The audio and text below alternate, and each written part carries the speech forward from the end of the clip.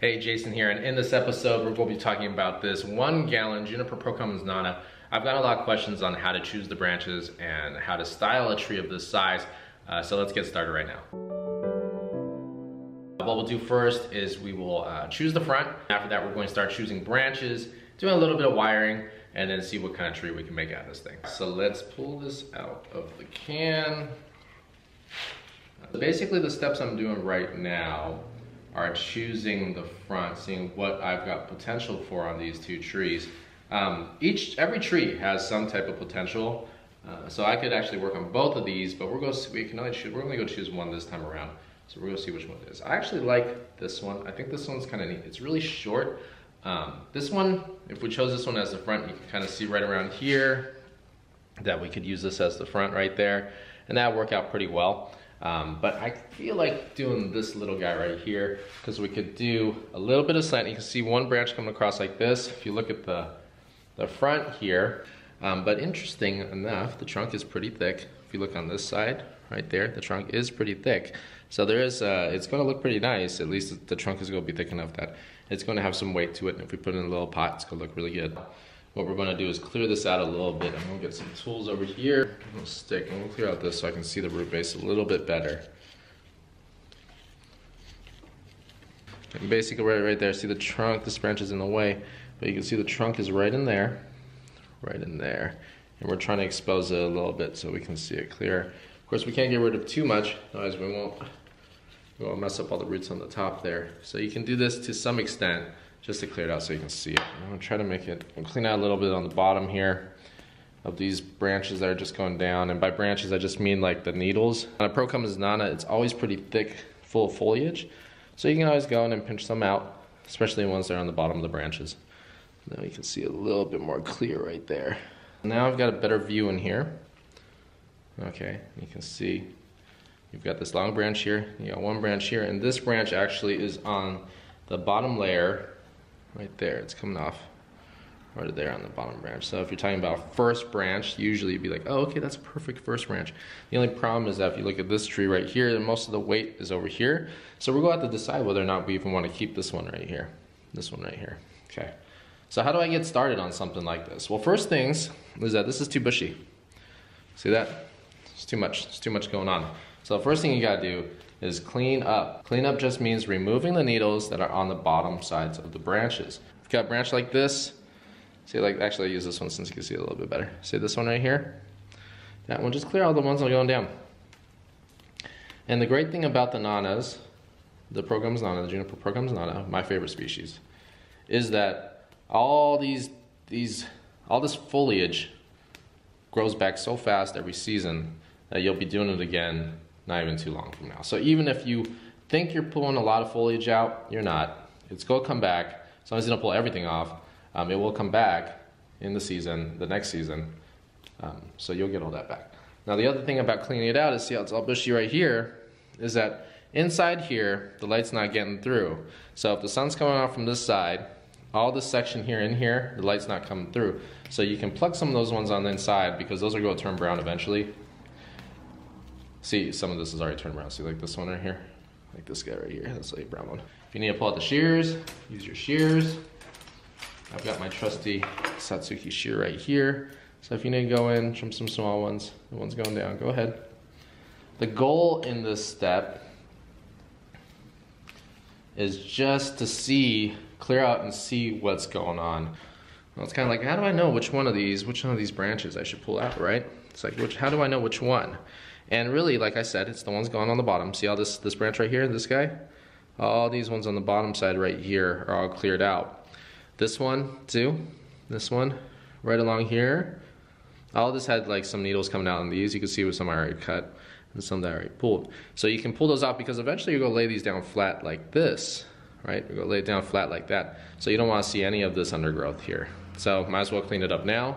Then you can see the structure. In one season, a lot of these are gonna come back. If there's adequate sun hitting the tree, you will get a lot of these needles coming back. So now, we're starting to see a structure here on the trunk here. Let me see if I can move these branches out of the way. Start to see a structure there on the trunk. Now it's not fantastic. There's a little bit of curve right here, right there. use a stick right in there. You can see there's a little bit of a curve going up this way. Goes up through around like this. See that little curve right here? This guy's just totally in the way, but you can see that curve right there. So that's the probably the nicest part of the tree that we're going to use. Um, unfortunately, it is leaning forward a lot, so I might have to use some wire to bring it up a little bit, like this. Because if it's flat like this, it's going to be leaning forward too much. But we can also do another trick, which is just tilt it a little bit like this. If you tilt it up a little bit, then you'll be able to get, you'll be able to see that that movement without it leaning forward too much. Now I'm gonna keep on cleaning and you can see this long branch over here, it comes out this way. Now I'm gonna keep on cleaning it, this one. This one, you can see all this one down here? See all these come down on the bottom? I'm gonna take those off. Cleaning is one of those things that is really important prior to designing your tree. And the reason is just because you can't see the structure without cleaning it. And once you do it, and you can see the structure, you'll be able to make those choices and choose those branches accordingly. Now the cleaning process doesn't all have to happen in one shot. It doesn't have to happen in one shot. Now I've got these, everybody always wonders like what should I do with these, the ones that are coming out of the trunk, these little ones? Well you just take those out because you've got your branches developed over here, like this guy right here. You've got that branch developed right here. Let's see if we can see this, this guy right here. So you don't really need, let me move it up a little bit. So you got this one right here. So you don't really need these new ones inside. Like these ones inside, you don't need them because you've already got the branch that grew out already. Now most of the time on these trees, especially the Procumbens is you will have more branches than you will need to design the tree. So most people try to keep as many branches as possible, but really for the structure, you only need a few of those branches to create it. Now at this point, I actually haven't done any major branch cutting. All I've been doing is clean. See how much clean, it's less dense in there now? It's the same, you do it everywhere. Now, I can see that the tree, the majority of the tree is over here. Okay, let's take a look at the tree, the structure of the tree. It looks like a mess. And it's really weighted on this side here. This branch is way too long for the tree over here. The bulk of it's gonna be over here. So now when I'm choosing the branches, which I can do at this stage, you know, I've done enough cleaning to see where all my branches are. Now the triangle that I'm gonna do, because this tree is very small, see the trunk right there is very small. The triangle is gonna be a small one, it's just gonna be right around here. It's just gonna be right there, right there, and you can say it's going to be just in this area right here. That's that's actually the structure of my tree. So you can always see that these branches are coming out. Sometimes you'll save these guys that are coming out. If you need to create an apex at the top, that's a little bit more advanced. But for the most part, you know, if you're just starting out, you can shorten these up a little bit just to get them out of the way. See right there, it starts to balance it out a little bit. You can see that. And then this guy right here on this side, this is the problem. Now hold on, let me get rid of this one too. This one's coming out really far. And you can see from the triangle right in here, this side, right here, this is gonna be far out too. So I'm gonna trim that back. You don't have to eliminate, but you can trim back to help you sort of do this incrementally. And the funny thing with this branch though, this one right here on the back, okay, I'll try to show you, this guy right here, is that it's coming down right here. So right down there, it's coming down on the tree. It's coming down and coming around. And what that's doing is creating something funny on the bottom. So actually I'm gonna treat that as a branch that's just come down. So I'm gonna eliminate that one completely. And that's gonna lighten up this whole back section right here. It's gonna lighten up this back section. So you can see I'm doing small cuts, incremental cuts before just to set more of the foundation. Now, I've got most of my tree on this side, okay? Got most of my tree on this side. We'll use this towel here. And this is the problem, this guy right here. This clump of branches right here. Now, this one in the books, going to say, okay, that's a great first branch right there. Now, the issue I have with it is that it's too far off on the left. This one's too far off on the left compared to the rest of the tree. So, yes, it's a low branch, and that could be a first branch. If I decide to use it, though, I'm going to have to blend this tree, this part of the tree, with the rest of this to keep, keep it coherent. Otherwise, it's going to be its own little thing over here, and this is going to be its own little thing here, and it's going to be kind of disconnected. So in this scenario, you can make a choice. And in this choice, I don't like this first branch, this one right here. I don't like that it's off away from the rest of the tree on such a small tree. So I'm going to use my first branch as one of these guys over here on this side, one of these guys on this side. And to design the tree on this side. So it has sort of some weight and it's going to kind of dip over a little bit. It's going to be a little bit interesting. And I'm going to get rid of this guy right here. Now, when you're getting rid of a branch, like this one, this big one, cut it back a little bit first And you can see, cut off the foliage even if you want, or peel off everything, and see if there's a potential to create a jin. There might be. You know, I'm gonna cut off all the foliage on this branch, leaving just kind of the main branch with nothing on it. Now these are things you can do. Whether or not I decide to keep this, I'll decide later. But these are things you can do when you're working on a tree to either practice creating your jins, um, or just, you know, if you want to decide, if you're not totally sure if you want this or not, if you want to eliminate the branch completely, but sometimes you can create some interesting jins. I'm still going to shorten it, you know. So now I've got that weight off, right? You got the weight off. I've, I've just cut off all the foliage on it. That's all I've done. And now you can see that the weight is nice on this side of the tree, this trunk. Now, kind of see that now. So now what we're gonna do, take my little jin tool here, I'll jin this out a little bit more. I'm gonna see what happens. Okay, so I'm just peeling all this off really quick. You know, take your time when you're doing this. It's kind of fun. That's sort of the point of doing this, is that it's fun. And you want to take your time. Don't want to rush through this. So you can strip all the bark off of there. And I can see how that looks. That looks a little funny. So I'll shorten this up a little bit. Shorten those up a little bit. Give them a little bit of pointy edge so they look a little bit more natural. Split the edges a little bit. That's it. I'll see if that looks too much like a hook at the end, which it kind of does. Maybe I'll eliminate it. But for now, if you want to make things like that, if you want to do design things like that, you're welcome to. So now we've got this tree, the rest of this tree. Now you can see, since I cleaned it, and there's always more cleaning you can do. Some of this cleaning I'll, I'll do during wiring. And now it's going to come down to wire. So now I've got this big clump of stuff, right? Eliminated all this, so now I'm just dealing with this. You can kind of see there's starting to be a tree forming. Um, now, I'm gonna show you how I, how I choose my branches. Now, the front, um, if you wanna know how to choose the front, you can watch the video on how to choose a front. Um, but I did this one as the front. Now I'm gonna start working on the actual branches of the tree. So we're gonna work on wire. I'm gonna grab some wire really quick and we're gonna work on this branch first. Okay, now this is where I start applying wire. Um, if you need to you know, learn more about how to wire, uh, just watch my video on how to wire uh, a bonsai branch and then you can kind of see how I'm gonna do that, how you do that. But the first thing I'm gonna do, and this is how I always design my trees, is I work from the bottom up. So this is the first branch I'm gonna do right here, this guy right here. So let's wire that really quick. Here's a little trick you can do.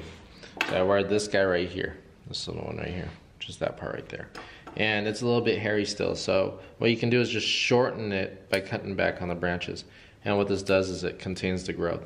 Now, this is not the same as cleaning, this is cutting it back to shorten the growth so that it's not as bushy. And you would just, now you don't cut across the, the tips like across everything. Just try to find where it joins, or where the new shoots come out of, and cut back to those locations. Okay, so just doing the first branch right there, and I've got that down. And I already can tell that this is gonna be low. Now this tree is gonna be different. It's gonna be a little bit of a semi-cascade coming down, a little bit. Because this, this branch here, this trunk right here, it comes up. See if I can show you without being in the way. This one right here comes up and around. And what I kind of wanted to do is dip back down this way. So I'm going to bring all this foliage down like this and then I'm going to leave this short a little bit shorter and let this kind of cascade over. So now I can start my, my first choice on my branch. So now I can make a choice on this branch. I've got this branch right here, and I've got this one coming down that can take its place. So I'm going to eliminate that one because it was going too far out this way anyway. So it's going too far out this way. I can bring this branch here that I just wired and put that into that spot and create my first pad right there, right there on the bottom, that first pad. So now I've basically used two branches, these two, those two right there together to create one bottom pad. And that's my first branch, the lowest branch. So that's how I made my first elimination. It was, remember, it was this branch on this side right here. It was coming down this way. So it was giving me too much. Otherwise, I'd have this whole section two full branches. So I eliminated one so I can just use this guy as my main one right there and eliminate the other one. Now I can kind of see in here, there's a lot of growth that's unnecessary. So I'll eliminate some of that a lot of growth on the inside, right in this area. We'll eliminate that because I'm going to have branches. The next one, the next And this right there, what I'm doing right here is I'm just shortening it up like I was explaining before, just so the pad's not so heavy. Can kind of see it's starting to get that first pad. Okay, so now, see I can clean up because now I eliminated these ones in here, right in there, because this branch is going to sit right over it. So if I have branches there and a branch over it, the sun's not going to hit those, so I eliminate those because this guy's going to cover them, and this is going to fill in that gap right there, fill in that layer right in there, right in there. So, then we'll wire that one. That's a little one. First, I'm going to see what's going on in the back here. Okay, the back, you just wire them down. So these ones, I've got too many. This one, I've got too many on the back here. I don't need that many. So I got three branches. One, three branch. One, two, and three. I've got too many. And first I need to clean up a little bit. Got way too many. Just for that one back branch, I do not need that many. So I'm gonna eliminate two of the small ones. keep the bigger one. You know, put that right in the back right there with wire. So gonna wire this one. It's really small wire. And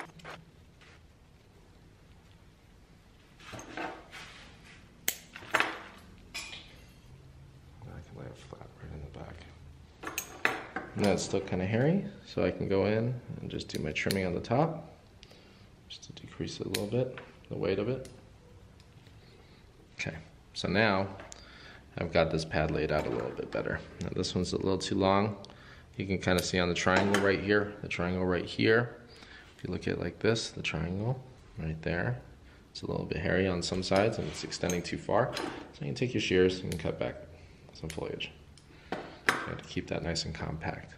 Yeah, starting to look a little bit better. We're getting there. We only did the first step, so now we keep going. So now I've got tons of branches right in there. And really the only thing you can do is start wiring. Now the inside things, you know, the things on the inside here that are completely inside and eliminate.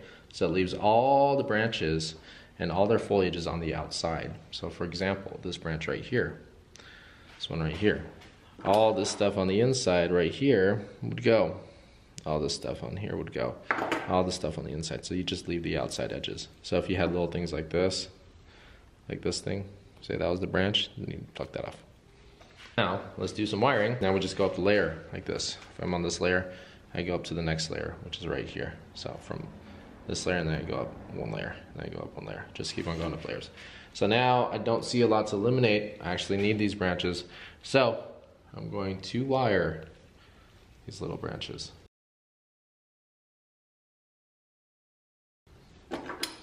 Now, like I said, if you have to go back and trim, if they're too tall, go back and trim off the top. That's fine.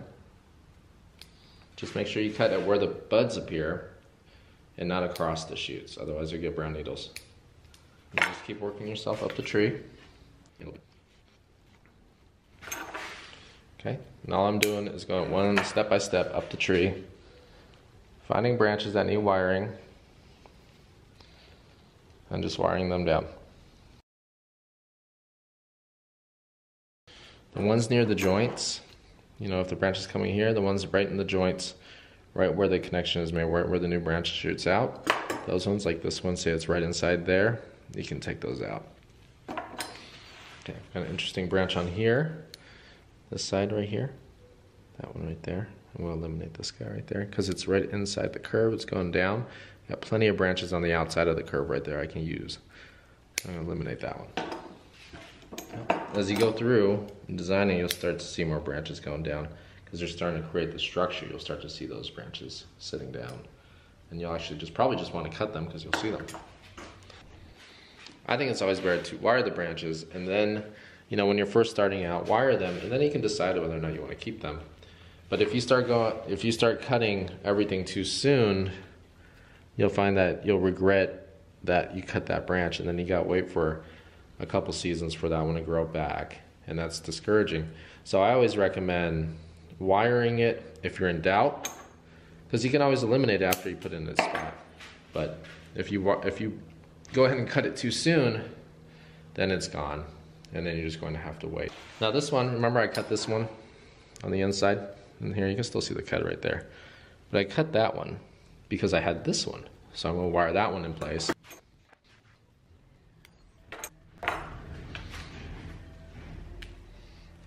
It, you kind of know what's going up, what's going down. So you can eliminate or you can cut back using the shears. Almost got everything wired here, just a few more.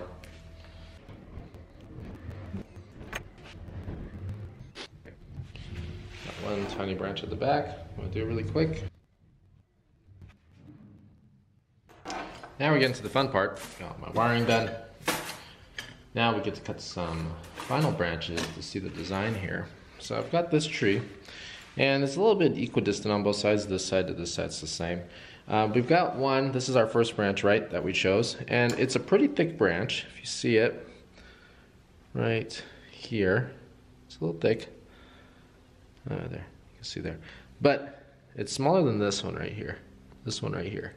And we've got to eliminate this one. It's too heavy on this side. It's equidistant on both sides from the apex, which is right there. So I got to eliminate this guy right here. And I'm to do a whole, I'm to do a complete elimination on this branch. So that's gone. Okay, and what that does is it lets me bring this one into its spot to take its place. Grab this one right here, extend that out a little bit. And now the majority of the weight is to be on this side of the tree. I've got this branch sticking out right here, this one right here, which is a little too thick, so I'm to shorten that. My favorite part, just the trimming part. Okay, but now it's still kind of messy, so I'm to go in here with my shears and we'll clean up places that I feel that the foliage is too thick. We'll clean up, try to lighten it up a little bit. Uh, so I've got most of this done. Um, there's a few more things I want to do. Uh, some more wire I want to add. Um, this, this branch right here I'm to eliminate. Right around this front area it's a little bit too thick and I can't really see the rest of the tree. So I'm going to eliminate this one right here. And that's more so I can see this movement coming on the tree right there so I can see the trunk. So a few more wires here just complete it. Over the apex a little bit.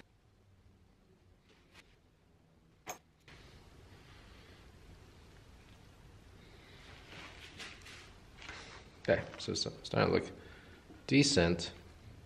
And what I'm doing is I'm cutting branches in between the pads so that we can see through it. We can see through the branches. The refinement stage here, where you're just choosing the final branches, is probably the most fun part. And get rid of a lot of unnecessary stuff and cut the ones that are too tall. And then you can take a look at that top view. So you can kind of see it's still a big ball and I kind of want a diamond here. So make some cuts here. Right here I've got a little gap, but I've got plenty of time for this to grow in, fill that spot. So there it is. There's like a 360 view of it. Now remember we'll be potting it at this type of angle right here. We're going to be potting it more at that type of angle. So when you rotate it, it's going to look a little bit like that.